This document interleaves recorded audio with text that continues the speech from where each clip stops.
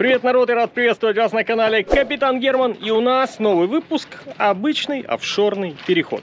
Мы собираемся сейчас и будем выходить с Society Islands. Это, как вы уже знаете, Таити, Бора-Бора, Хуахины, Раяте, Таха. То есть отсюда мы собираемся. Делаем закупки, делаем чекаут и выдвигаемся. Поэтому сегодня у нас будет офшорный переход. У нас сейчас большая задача. Мы занимаемся закупками на переход, потому что идем мы на острова Кука. Там картошка продается? Конечно. И юка, и тапиока, и все продается.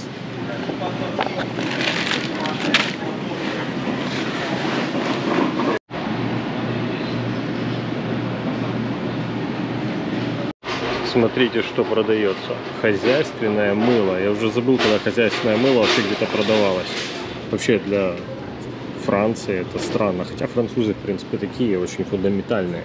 Ну, Вот это вот все мы купили. У нас здесь сейчас еды на недельный переход. Может даже там что-то с запасом. Потому что, может быть, там дальше уже такого не будет. Короче, вот это вот все 330 долларов у нас получилось. Там чуть-чуть бытовой химии еще всякой. Ну, это все на переход. Так, дорогая. смотри, ты идешь на пирс? Нет, ты с тележкой идешь на пирс. А я сейчас пошел за...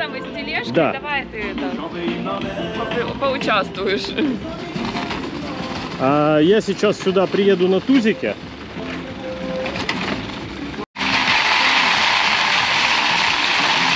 Ну вот, сейчас еду за Диной.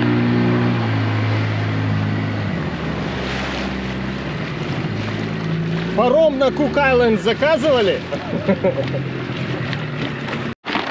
Так, все наши пасочки уже в тузике. Ну что, поехали? Няй. Серьезней будь.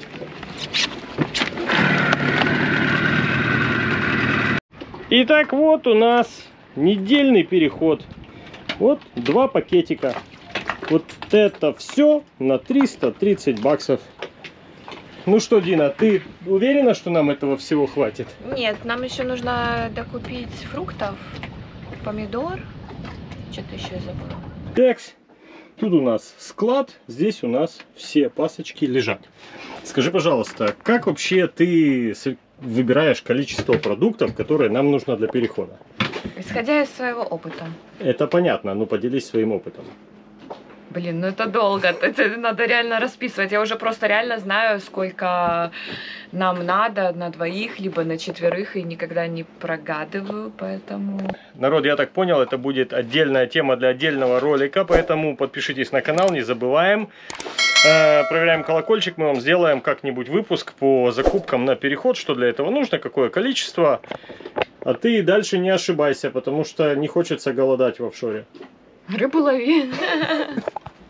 Вот бумажечка. Бумажечка, это называется бумажечка на выход, custom clearance. Пассапортики, которые также нам проштамповали. все, мы готовы выходить из французской Полинезии, из этого прекрасного райского места. Идем мы на Кук-Айленд, на Итутаки, и мы готовы. Погнали. У нас тут ветер такой, я думаю, где-то, наверное, под тридцаточку на порывах дует. Вот когда просто так стоишь, вот сейчас 26, а, наверное, когда порыв прямо такой, наверное, даже больше. Ну, ничего, вон Дина там сняла нас с буя. Э, нельзя сказать, что э, было просто, потому что там на буе ушко такое, оно такое корявенькое. И за него чуть-чуть зацепились веревки, но это так, там зад вперед, чуть-чуть газу, левее, правее, и все сняли. Короче, выходим уже, все. Yes!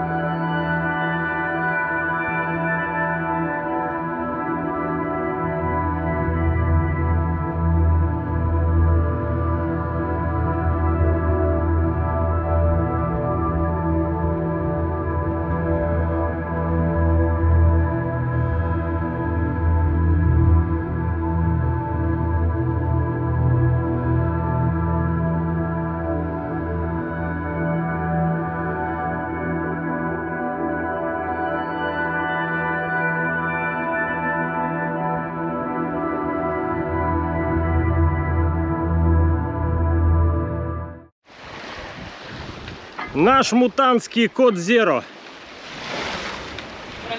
Франкенштейн. Итак, какая же у нас скорость? 4,7, 4,6. То есть мы почти 5 идем под нашим вот этим парусом. Ну, сейчас вот уже немножко 4. Ну меньше. 4 плюс в любом случае это даже лучше, чем под мотором. Ну что, мы под мотором шли разве меньше? 3, 7, 4. Ну, Короче, во. 450 миль нам. Ну, это только у нас первый день такой будет, потом у нас увеличивается сильно, Хопса. до 35. У нас ветра становится все меньше и меньше, смотрите. У нас вот это сейчас реальный ветер, 6 узлов.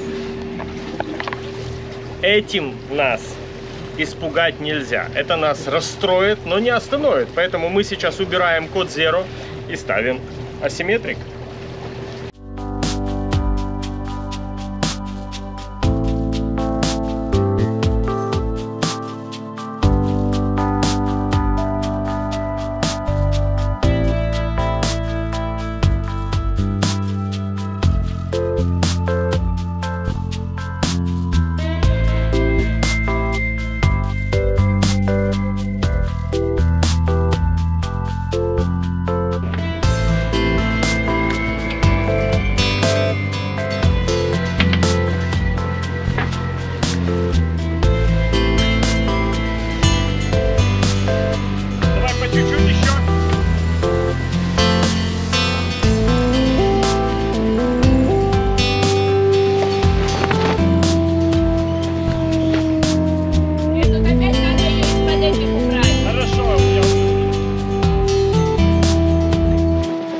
Посмотреть, как у нас генакер работает.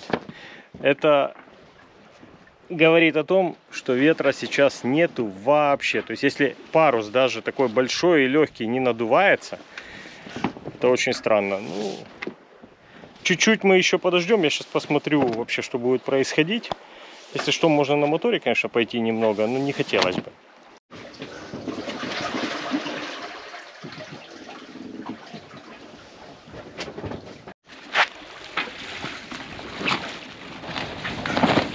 Вот с такой вот работой паруса у нас сейчас скорость около трех узлов. Вот мы обратно поставили код Zero, потому что начало дуть больше 12, а обычно под э, асимметриком мы идем где-то до 12. Можно и больше, но уже будет тяжело. Поэтому для того, чтобы свернуть, если передозит, нужно уходить в downwind, и когда уменьшается нагрузка, то сворачивать парус. Ну или main ом прикрываться, но мы main не ставили, потому что у нас нету запроса на такой большой ветер. Короче, у нас э, сила ветра 10 узлов, и если будет apparent где-то 14, мы будем уже Code Zero убирать и ставить пол- полные паруса, потому что мы идем где-то 110-120 к ветру. Ну и сейчас у нас apparent от 9 до 10, то есть в принципе такой достаточно тухленький ветер. Ну идем мы 4,5, где-то 5,5, то есть средняя, наверное, около пятерки мы идем, что великолепно для такого вот отсутствующего ветра. Но это до утра только, а потом будет уже нормально. Вот у нас вечер, закатнее время. Мы уже включили ходовые огни и сегодняшнюю ночь мы будем идти под код Zero, потому что до утра э, в планах изменения по погоде нету. И завтра где-то с 10, может быть с 12 часов будет э, увеличение ветра, и мы уже сможем перейти на обычные паруса. Всем доброе утро, у нас рассвет. Ну, вернее, еще рассвета нет, но там вот видно, как солнце из-за тучи вылазит. Ночка была тяжелая, потому что э, нормально поспать не получалось. Э, Мы шли под код Zero. Э, Начало раздувать где-то до 15, потому что пришла такая туча большая, под ней начало дуть. Обычно у нас паруса работают так, штатный режим где-то 12 Э, Это потолок для большого паруса, для асимметрика. Потом где-то 15-16 мы уже убираем э, код. Но я говорю сейчас про Apparent Wind. И, в общем, раздуло так погранично. Код Zero его так было тяжело мотать, потому что надо было усилие. Еще неудобно, что лебедка одна, и так бы на лебедке его свернул, но руками пришлось свернуть. Это такое ночью потом идти э, на нос его там складывать, все. Ну, в общем, такое вот. э,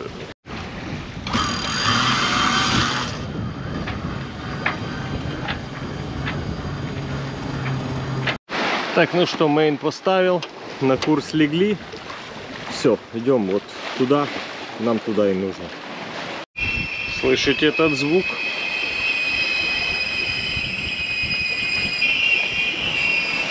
Это взбивается молоко под мой утренний кофе.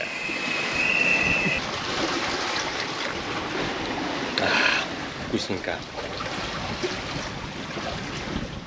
У Старлинка бывает западло, что он, если его отключать питание, мы на ночь отключали 220, потому что у нас на нем только Starlink заведен. Ну, а с утра кофеварочка и заодно проверить почту. И бывает такое, что Starlink, он не запускается с первого раза. Нужно типа, два раза перезапустить, э, может три иногда. Э, ну, в общем, когда сразу стартует, иногда у него не получается. Пока не сильно болтает, можно было и в душик сходить, наконец-то. Короче, смотрите, что я вам хотел показать. А, Когда ветра мало, для того, чтобы увеличить ветер, который дует на паруса, вам нужно увеличить аппарент. Как это сделать? Вам нужно просто повернуть немножечко больше upwind. А, И вот у нас сейчас вот 11,4 и 93. То есть мы можем себе спокойненько уйти сейчас чуть-чуть направо на десятку. Потому что когда я повернул сюда налево, у нас аппарент был там 8, что-то такое. Это нам не подходит. Когда аппарент низкий, у нас хлопают паруса на волнах, потому что в океане ходят не столько по ветру, сколько по волнам. Э, Ветер, конечно, тоже важно, но если э, аппарента мало, то когда лодка идет с волны, начинают хлопать паруса, это вообще не полезно ни для, ну, вообще ни для чего. Поэтому мы поворачиваем upwind, увеличиваем аппарент, идем с давлением на паруса, а когда ветер увеличивается на газ, так мы подворачиваем потом обратно. Ну, нас потихонечку раздувает, то есть мы сейчас идем на полных парусах и на полных парусах идти планируем. А, Сейчас у нас угол к ветру где-то 120, мы э, идем при apparent wind 12,5, то есть это как раз вот оптимально минимальный угол и сила ветра, которая нас толкает. Скорость у нас там 5,5. Так, у нас сейчас будет завтрак. Э, Сейчас будем готовить на индукционке, потому что у нас солнца много, батарей много. В общем, будет сейчас у нас какая-то там яичница с луком, помидорами.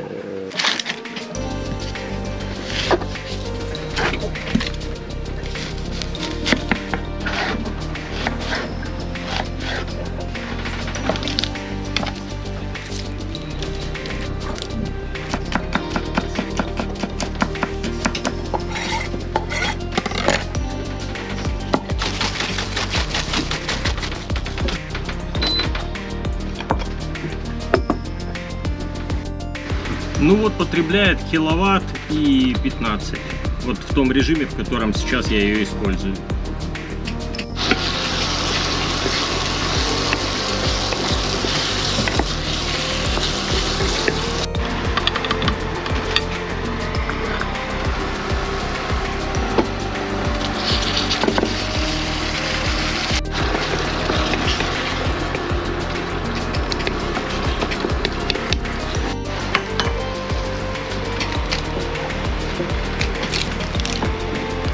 Стакан обязательно, потому что если яйцо пропавшее, чтобы не испортить все блюдо.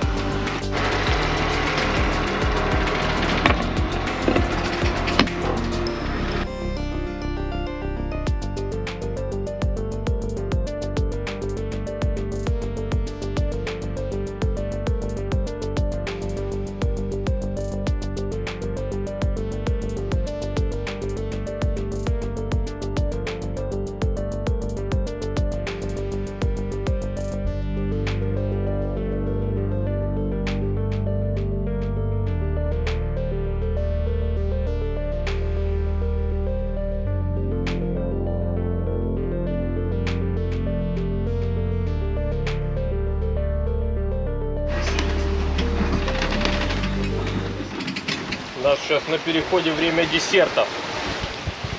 У нас еще есть сколько? Штук 5 апельсинов, да? Или уже? Да. В общем- манго. Мгм. Манго стыренное из дерева, апельсины купленные. Иногда хочется что-нибудь такого себя побаловать.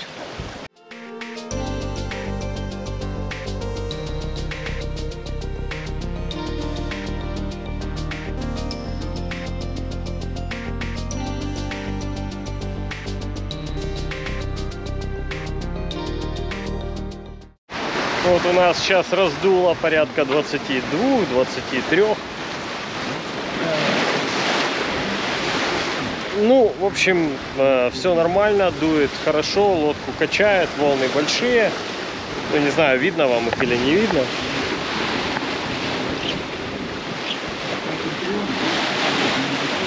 Ну, в общем, качка есть. Я думаю, что ближайших 300 миль у нас где-то такая погода дальше и будет. Ну, во всяком случае, хотя бы дует. И есть ветер. Ну и не прямо ужас-ужас. Просто так по- побалтывает. Но у нас сейчас еще и закат к тому же. Не самый закат, но близко к нему.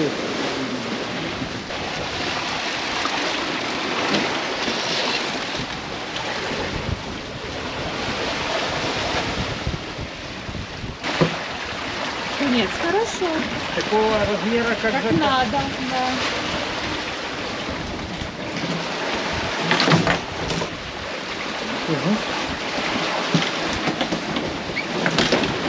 Крупного размера рыба.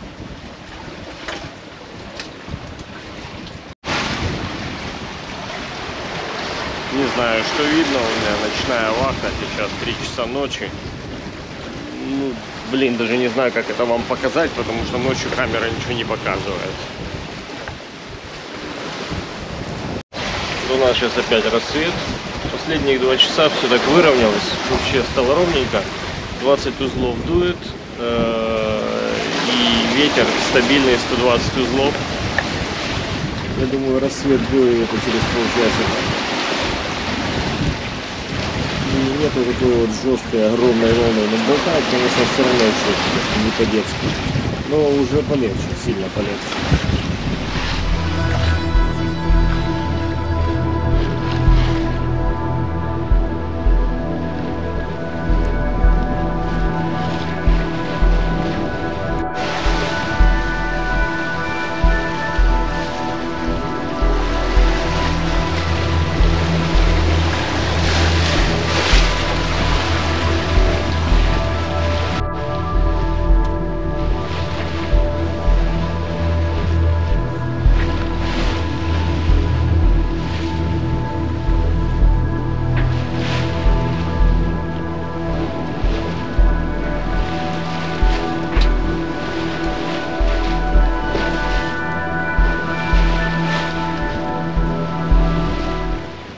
Ну.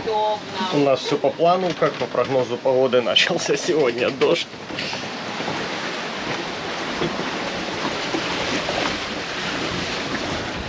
Это нас будет ждать еще на день.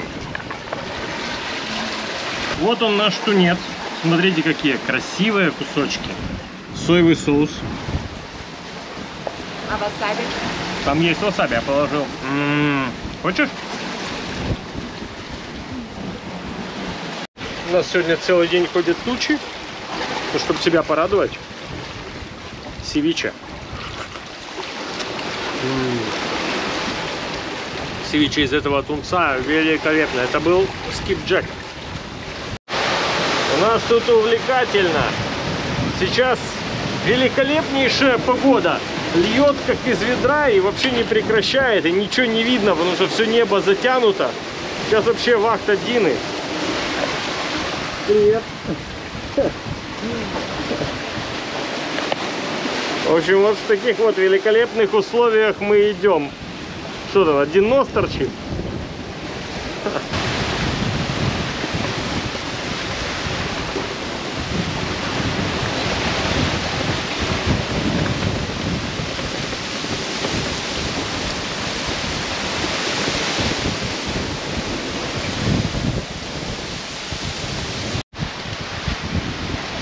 Сейчас утренняя, утренняя вахта.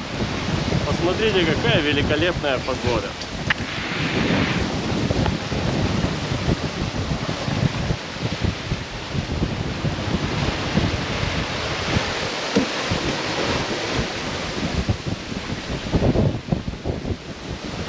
То он дует 120, то 130, то 70, то 10 узлов, то 30 узлов. Короче, очень тяжелый яхтинг, реально очень тяжелый. Но мне сегодня удалось 3 часа поспать. Дина там хорошо подежурила, так я даже не просыпался.